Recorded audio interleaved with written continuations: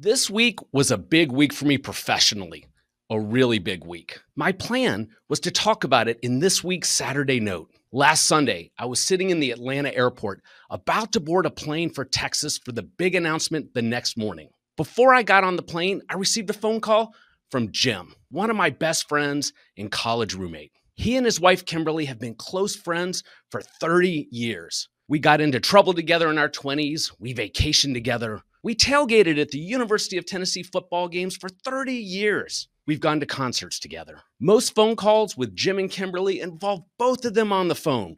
You know the type of couple I'm talking about. It's always nothing but laughs and love. But this phone call was different. It was just Jim. This phone call was Jim telling me that Kimberly had passed away unexpectedly. She was only 50 years old. I'm not sharing this for sympathy. Everybody loses people they care about if they live long enough. When I think back to the last time Kimberly and I spoke, it was at a tailgate last fall at the University of Tennessee. I'm recording this in April.